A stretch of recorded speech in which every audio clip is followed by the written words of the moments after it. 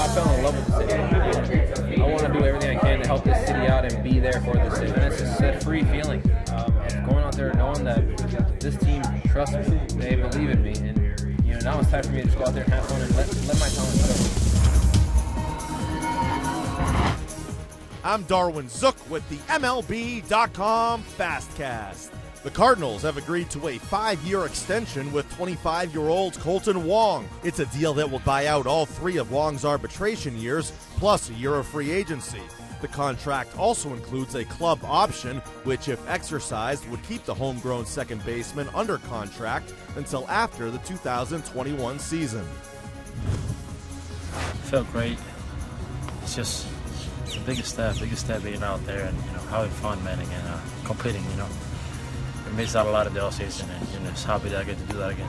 Jose Fernandez was dominant in an intra squad game on Wednesday. The Marlins ace breezed through two scoreless innings, striking out five. Fernandez is set to make his Grapefruit League debut on Monday versus the Nationals.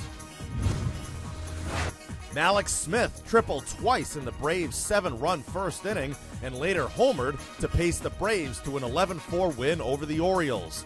O's slugger Chris Davis added a solo shot in the loss. 3 1 delivery. Davis sends a fly ball out toward right center. Pretty well hit.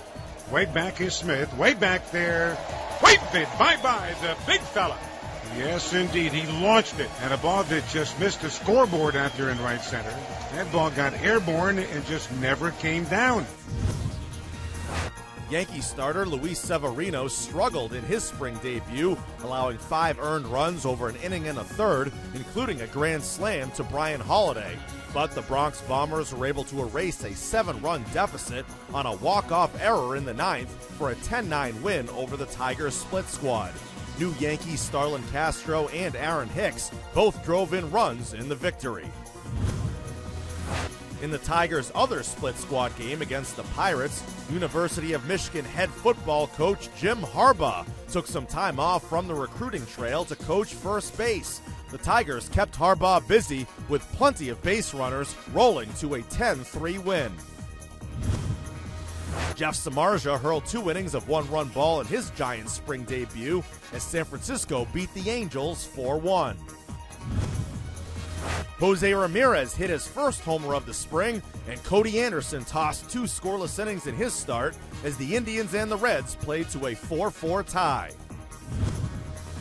For more on these stories and all your latest spring training news, keep it locked in to MLB.com.